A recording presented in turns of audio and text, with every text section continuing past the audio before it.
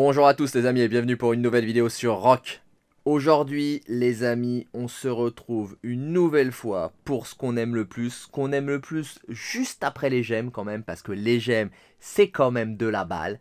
C'est la guerre, on a eu sur un nouveau KVK, je vous avais jamais montré ce KVK, on va aller le voir ensemble. L'ouverture des portes de niveau 4, vous savez, sur ces anciens KVK, les KVK de saison 1 et 2.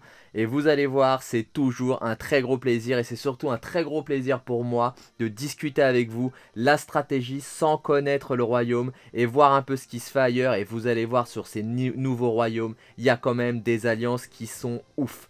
Avant cela, regardons, vous le voyez le petit décompte en haut avec euh, le petit euh, Coliseum là-haut. 6 jours, 10 heures, 37 minutes et 32 secondes avant la fin du KVK. On retrouve ce compteur ici, bien évidemment. On se fait latter, mais euh, ça je vous l'avais dit, on s'était fait surpasser. C'est la vie, c'est des choses qui arrivent. On va perdre ce KVK 3 à 16. On a quand même détruit 3 bâtiments. Hein. Donc GG à ceux qui ont réussi à détruire 3 bâtiments. Et donc on se dirige tranquillement vers la fin. On le voit dans le crépuscule. On va bientôt arriver vers l'ouverture des portes. Normalement, ça aura lieu dans la nuit de aujourd'hui à demain. L'ouverture des portes qui nous protégeait la dernière zone. Hein. Vous le voyez, on est en... Alors, c'est pas Tahiti, c'est Sakaka.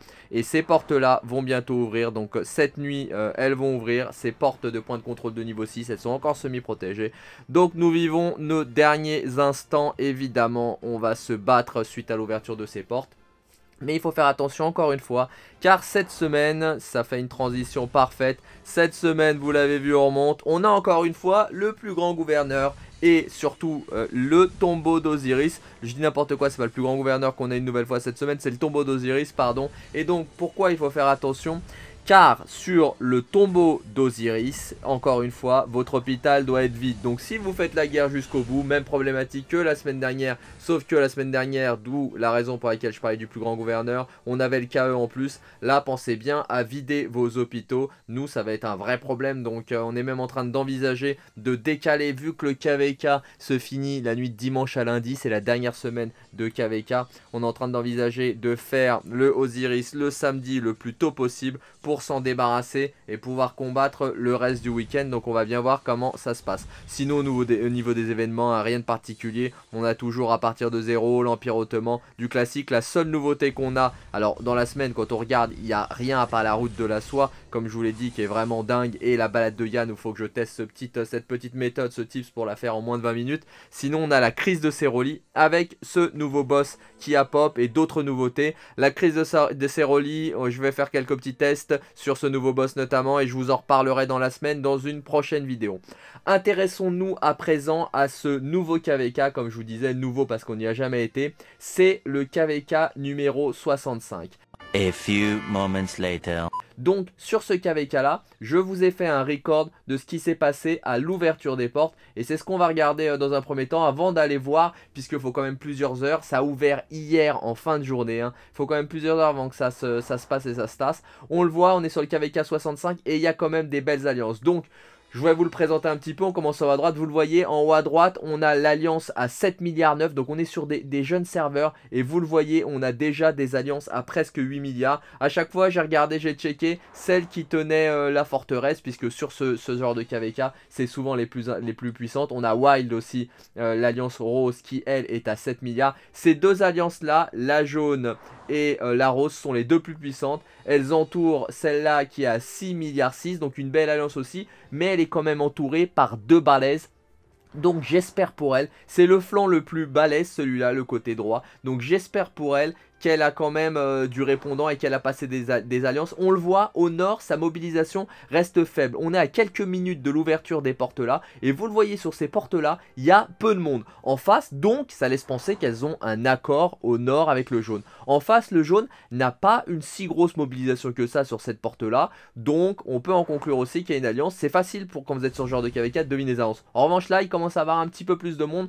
Donc, on se dit, ils vont peut-être sortir pour aller euh, tabasser directement mais c'est pas sûr, il suffit de comparer avec la mobilisation juste en face, et là on le voit, il y a quand même beaucoup plus de monde sur le côté gauche. Donc ce serveur qui est après, avec une alliance à près de 8 milliards est clairement en train de, de il va attaquer le côté gauche, c'est sûr, puisqu'il s'est mobilisé pratiquement uniquement sur ce côté-là contre les mauves. Et on le voit sur ce côté-là, les mauves. Alors là, là, c'était ouf quoi. Franchement, quand j'ai vu ça sur un jeune royaume, autant de mobilisation, je me suis dit, les mecs, ils sont vraiment déterminés. Et vous le voyez sur les deux portes, il y a masse monde. Donc, je peux vous le dire, quand j'ai vu ça à quelques minutes de l'ouverture des portes, je me suis dit qu'on allait se régaler en combat. Sachant que ce qui est étonnant, regardez, l'alliance qui tient la forteresse croisée sur leur serveur n'est qu'à 5 milliards 6. Donc ils ont l'air d'avoir des alliances de moins haut niveau, mais quand même d'avoir une mobilisation plus importante. Mais ce qu'on constate, c'est surtout qu'il y a zéro mobilisation sur les deux autres portes. Ce qui voudrait dire que soit ils abandonnent ce côté, soit ils ont une alliance avec euh, le rouge. On le verra quand on retournera au direct. En revanche, lui, le rouge, il est ultra mobilisé. Donc, peut-être pas d'alliance. Donc là, sur ce côté-là, c'est moins clair que sur le côté droit, où au moins on avait vu qu'avec la mobilisation, on savait où étaient les alliances ou pas. Ce côté-là va de mon point de vue, le côté gauche, hein, entre le jaune, le bleu ciel et le rose euh, au sud, va être à mon avis le côté le plus explosif puisque je dirais que c'est euh, le, regroupement des plus balèzes sont sur ce côté-là le droit, le droit. Donc j'espère que pour nous, j'espère pour nous, hein, pas pour eux, j'espère pour nous que le rose et le jaune, ceux qui sont extrêmes, ne sont pas en alliance, ça va nous promettre des gros gros combats. Donc au niveau du sud, vous le voyez, regardez, ils sont quand même plus mobilisés le bleu au sud, donc ça laisse penser qu'ils vont euh, se battre au sud. Et en face, le rose, lui, est-ce qu'il est mobilisé? Il est mobilisé, lui aussi, de ouf sur les portes. Regardez cette mobilisation euh, du rose, hein, notamment des, des wilds, c'est tout simplement énorme. C'est des très grosses mobilisations comme on voit sur les serveurs les plus anciens. Donc vous, certains d'entre vous me posent la question, est-ce que les serveurs les plus récents n'ont pas plus d'actifs? Écoutez, je sais pas, parce que ça dépend quand je regarde les serveurs. En tout cas, ceux-là sont clairement des serveurs en puissance. C'est pas du tout des Imperium. Pourtant, et ils ont un très gros potentiel, une très grosse base de joueurs. Alors est-ce que les anciens joueurs qui sont sur les anciens serveurs se démotivent plus rapidement Ça, je ne saurais pas vous dire. En tout cas, ce qui est sûr, ou du moins sont moins motivés plutôt que se démotiver plus rapidement. Ce qui est sûr, c'est que là, eux, ils sont déterminés de ouf. On le voit bien, ils vont attaquer euh, cette porte-là. Et dès qu'ils vont euh, avoir fini euh, de l'attaquer, ils vont tout de suite sortir. On va passer tout de suite à la sortie et ce qui s'est passé, les, dizaines de minutes de ce qui s'est passé juste après la prise de, ces portes. 2000 years later. Donc on se retrouve juste après la prise des portes, vous le voyez tout de suite ça avance le bloc jaune, il avance mais le bleu n'avance pas sur le côté le plus à droite sur les bâtiments, donc là-dessus ça confirme le fait qu'ils ont une alliance, puisqu'ils euh, avancent chacun vers un bâtiment qui laisse penser qu'il a été partagé. Vous le voyez, il n'y a pas de résistance, donc ça va peut-être changer. Je me trompe peut-être, quand on retournera au direct, on verra peut-être que j'ai eu tort. En tout cas, là, je n'ai pas été voir, hein, donc je suis dans les mêmes conditions que vous. Je n'ai pas été voir ce qui s'est passé depuis ce record-là, donc euh, je découvrirai avec vous si je me suis trompé ou pas. Là, on le voit comme on le présumait, avec le mauve, une très grosse bataille. Le mauve est très mobilisé, et même si le jaune est avancé, a avancé un petit peu plus vite, là, il y a de gros combats qui, sont engagés, qui sont générés. On le voit bien, ils sont très présents et ils vont se disputer les bâtiments. Donc, le serveur mauve va se retrouver avec quand même une double, euh, confrontation, un double front à mener. Il va devoir combattre contre le jaune et contre le bleu ciel, même si le, le bleu ciel m'a étonné par sa passivité. Si vous êtes sur ce royaume-là, n'hésitez pas sur le bleu ciel ou sur d'autres, n'hésitez pas à me faire part des stratégies qui sont en cours. Parce que là, la stratégie du bleu ciel qui reste un peu à l'écart et qui n'a pas de troupe qui est là en train de se battre pour aider son allié, pour aider son allié le jaune, laisse penser qu'il lui laisse, vas-y, c'est ton côté, c'est toi qui auras les bâtiments, donc débrouille-toi, moi je ne me mêle pas de ça, nous on a notre accord. Donc en tout cas, deux fronts qui s'engagent, le front le plus au nord, celui-là est plus calme, même s'il y a eu aussi des batailles, il est plus calme, ça avance plus sereinement, disons qu'ils sont pas encore en zone de contact. En revanche, le front juste en dessous sur les bâtiments, il est fatal. Vous voyez là, ça reste, euh, il se regarde, il va avoir très certainement des confrontations quand ils vont se toucher. Mais pour le moment, c'est moins direct et moins violent qu'au sud. C'est clair que la bataille se joue au sud. Vous le voyez, le jaune a posé une, un quadruplé là, 4 euh, forteresses il a posé. Donc il veut vraiment bloquer le milieu et bloquer les portes au serveur mauve. En revanche, au sud, le bleu, lui, il a des combats. C'est pour ça qu'il est pas au nord. À mon avis, il a mis toutes ses forces au sud. Parce que c'est un royaume un peu plus petit. Donc forcément, il a concentré tous ses joueurs au sud. Et grosse confrontation au sud. En revanche, il est mal barré quand même, le bleu ciel face euh, aux, roses car le rose des white ont une très très grosse mobilisation on le voit là ils sont tout bonnement énormes et je pense qu'ils vont vraiment les enfermer assez rapidement donc le bleu ferait mieux de lâcher ce front à leur place si j'étais le leader du royaume bleu, je lâcherais le front au sud parce que là c'est clair ils vont se faire dépasser. Donc euh, on le voit bien sur le combat là ils sont clairement en sous-nombre et en souffrance. Et j'irai soutenir le jaune quitte à négocier ou pas quelques petites rewards supplémentaires quelques petits bâtiments supplémentaires. J'irai soutenir le jaune même si le jaune a l'air ultra puissant pour combattre le mauve et totalement enfermer le mauve et me garantir un terrain plus safe parce que là, à mon avis, ils vont perdre beaucoup de troupes pour enfin, soigner beaucoup puisqu'il n'y aura pas de mort sauf dans les attaques de flag évidemment. Mais je ne sais même pas s'ils auront l'occasion de le faire s'ils vont devoir défendre les leurs qu'ils ont posés. Donc ils auront euh, des morts là pour euh, un, je dirais une fin qui est déjà connue, à savoir ils vont se faire écraser par le rose. C'est ce qui est probable. Après, quand on retournera au direct, on verra si j'ai raison ou si j'ai tort. On le voit là, il y a zéro confrontation et surtout aucune forteresse qui a été posée sur cette zone-là pour verrouiller. Ce qui nous laisse penser que cette zone-là va être safe et que le rose a confiance euh, dans ses forces et sur le fait qu'il va bloquer tranquillement son assaillant, le bleu ciel au nord. Je vous parle vraiment que de ce côté droit parce que sur le côté gauche, comme on va le voir quand on va retourner euh, au direct, parce que j'ai été aussi euh, après euh, dans ce rush, sur le côté gauche là, comme vous le voyez, il n'y a pas vraiment de confrontation. Le bleu ne sort pas, pour une raison que j'ignore. Il a peut-être fait le choix que j'indiquais précédemment, à savoir mettre toutes ses forces de l'autre côté, parce qu'il savait qu'il n'avait aucune chance sur ce côté-là. Il a une double coalition encore face à lui. Hein. Il a deux royaumes sur la zone face à lui, et surtout il a directement le vert qui sort et qui lui rush dessus, le vert, euh, vert clair de Lucerne. Et le orange aussi sort tranquillement vous le voyez il n'y a aucune confrontation avec le orange et le vert. Donc encore une fois on a un accord de 2 contre 1 c'est ce qui arrive souvent hein, sur ces zones là on en a toujours sur ces anciens systèmes de KVK on a presque toujours du 2 contre 1. C'est rare que les 3 se battent. Moi, je l'ai très rarement vu, peut-être au tout début du jeu sur les KVK saison 1, des tout premiers serveurs où on se battait tous comme des malades. Mais euh, il y a eu très vite euh, des stratégies d'accord. Et là, sur cette zone-là, alors là, il y a, zéro combat. Il n'y a pas de sortie. Il n'y a rien. Ils sont tous détendus. Le orange ne sort même pas. Donc, à croire que le orange aussi ne souhaite pas aller à la confrontation sur ce côté-là. Donc, on est à 2 contre 1. Parfait sur tous les terrains. 2 contre 1 contre le bleu ciel. 2 contre 1 euh, contre le violet au nord. Donc, on est vraiment sur n'y a que deux zones de gros combats qui sont euh, au sud, euh, en bas à droite donc euh, et en haut à droite. Donc le rose contre le bleu ciel et le bleu ciel et le jaune qui combattent de l'autre côté le violet. Donc c'est les deux grosses zones de tension. Donc là, on a quand même deux blocs. Et ce qui est sympa pour nous, c'est que ça nous laisse penser donc que le rose va affronter le jaune. Donc on est vraiment, on va vraiment avoir une très grosse guerre après en, en Donc c'est vrai, ça va vraiment être très sympa à voir. Sauf sauf s'ils font une alliance. Et là, ça sera vraiment dommage. On va retourner au direct parce que là, ça s'est battu. Vous voyez, là, on était à peu près entre 1 heure et 1 heure et demie après l'ouverture des portes. Donc ça commençait déjà à bien se friter. Là, normalement, on est à plus de 12 heures, euh, près de 18 heures, si je dis pas de bêtises, de l'ouverture de ces portes-là. Donc les terrains doivent être établis. On va retourner voir tout de suite en live, en live, en même temps que je recorde, où nous en sommes.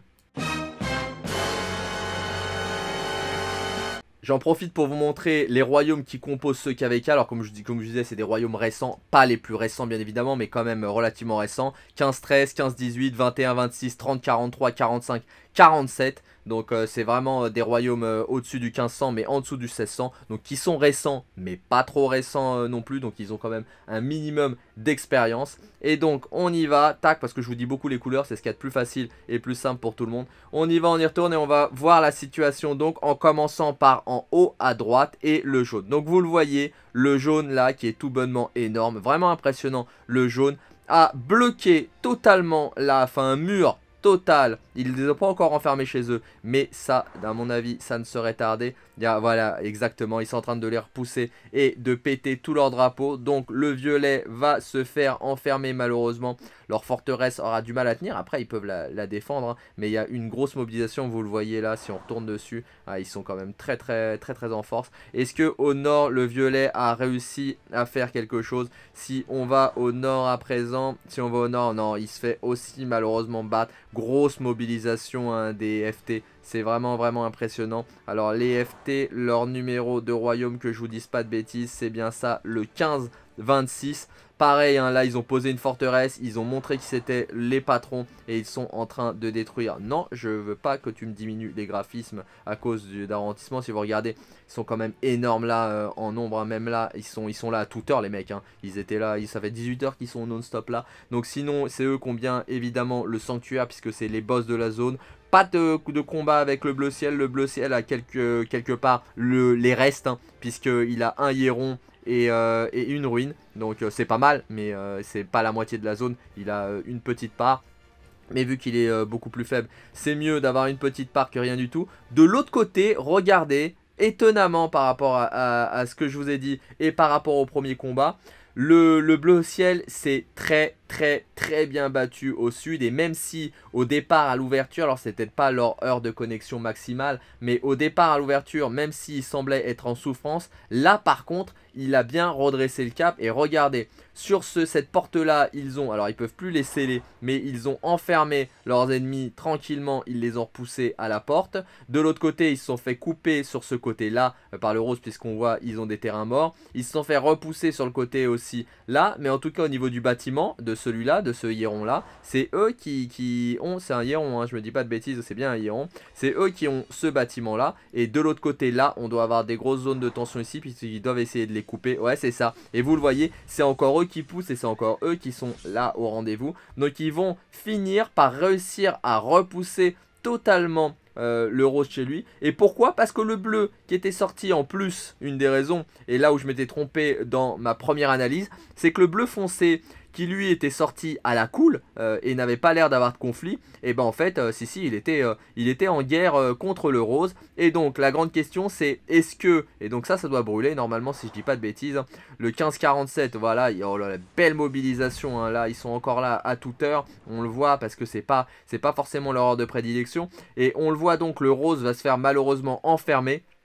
Ce qui voudrait dire donc qu'on n'aura pas ce choc euh, de ce qui semble être les deux plus gros serveurs, le jaune et le rose. Dites-moi si vous êtes euh, sur ce KVK là et que je me trompe dans euh, la puissance et la taille des serveurs sur ce que j'avais présumé. En tout cas, le bleu, là, lui foncé, il va tout prendre. Donc il doit être plus gros que le bleu clair puisque c'est lui qui a la plupart de la zone et des rewards. Et il a réussi à bien avancer et à s'assurer d'avoir un maximum de bâtiments. Vu son, son positionnement, ce héron là et ce, cette ruine là, et peut-être même celui-là, donc ils auront deux hérons le bleu ciel et une ruine, quand le bleu foncé aura le reste. Donc en tout cas, il semblerait donc, je ne sais pas combien sont avec le jaune, mais le jaune qui est avec le bleu ciel et le bleu foncé est bien parti là pour dominer ce KVK parce qu'ils ont déjà enfermé un de leurs plus gros adversaires, le, rose, et donc ils auront la zone Okuri qui va leur être assurée tranquillement puisqu'ils ont aussi repoussé le mauve. Ce qui veut dire que de l'autre côté, j'espère qu'ils vont être solides parce que le bleu, le bleu foncé de l'autre côté qui a été assez solide pour repousser le rose, de ce côté-là, il n'est pas du tout sorti et il est enfermé par euh, le, vert et par le orange. Alors, est-ce qu'on a du conflit entre le vert et l'orange? Et là, ça serait du suicide pour eux. Non, ils n'ont pas de conflit. Ils ont des drapeaux qui se touchent, mais zéro conflit. Pourtant, on pourrait penser, parce que lui, il a l'air de faire genre, il va au contact. On pourrait penser qu'il veut couper. Mais non, il n'y a pas de zone de conflit. En revanche, ce bras-là, ce bras-là, il est acquis. Quel royaume euh, avait ce bras là ah bah c'est un bras il, est fake hein. on pense qu'il est down mais il est pas down il est au vert donc euh, étonnamment, pourquoi il s'affiche comme ça? Oui, peut-être parce que c'est un, bras et quand ils prennent la porte, ils perdent le lead. Ils devraient mettre une forteresse euh, pour éviter ce genre de choses. Donc en tout cas, de ce côté-là, j'espère que c'est l'alliance du rose, j'espère pour eux. Hein. Le vert et l'orange ont bloqué le bleu. Mais vous le voyez, il y a quand même un très bon équilibre sur ce KVK. C'est pour ça que je l'ai trouvé très intéressant et que je voulais vous le présenter, le KVK numéro 65. Et au nord, pareil, le rouge, lui. Alors le rouge, en revanche, lui, c'est le patron de la zone. Je ne sais pas s'il est en alliance avec le mauve. Si il est contre le orange, normalement, il est pas en alliance avec le mauve et c'est lui le patron, c'est lui qui a tout pris. Là, il est tranquille, le 15-30. Alors, est-ce que ça va être le cas? On verra plus tard si le mauve sort par là, parce que le violet plutôt. Parce que si le violet ne sort pas, là, il va vraiment être enfermé et ils auront sur 4 2 enfermés. Ça paraît cuit pour, euh, pour ce KVK euh, pour eux si jamais euh, ils ne s'arrivent pas à, avoir une meilleure alliance ou à sortir de leur zone. Voilà pour ce petit KVK et petit entre guillemets 65 parce qu'il est tout bonnement énorme. Je vous invite vraiment à le suivre. Il, est, il vient que de commencer puisque les portes de niveau 4 viennent que d'ouvrir. Et j'espère qu'il va avoir des rebondissements à l'ouverture des portes de niveau 5. Si ça reste en l'état, le gros du combat va avoir lieu en zone Macha pour, euh, pour la suite euh, de ce KVK. Évidemment, je vous tiendrai informé et je continuerai de le suivre pour vous. En tout cas, je trouve qu'il est extrêmement intéressant et ces royaumes en 1500 sont vraiment très très prometteurs sur ce KVK et de façon générale, c'est des royaumes qui ont vraiment déjà des très belles alliances euh, premières qui sont toutes à plus de 6 ou 7 milliards, ce qui est déjà de très très grosses alliances, même si on connaît plus grosses. Il y en a beaucoup d'alliances sur des royaumes anciens qui n'ont pas ces tailles critiques là. Voilà écoutez les amis, j'espère que cette vidéo vous aura plu. Comme d'habitude, si c'est le cas, n'hésitez pas à lâcher un énorme, un gigantesque pouce bleu. Vous le savez, ça aide énormément le développement de la chaîne. On frôle les 5000 abonnés, on va bientôt les éclater. Et ça, c'est évidemment grâce à vous. Si vous souhaitez nous aider à exploser ce plafond des 5000 abonnés, n'hésitez pas à vous abonner à la chaîne en cliquant sur la cloche pour être informé de toutes nouvelles vidéos. Je vous souhaite un bon jeu à tous, prenez soin de vous, faites bien attention à vous, et je vous dis à plus sur Rock.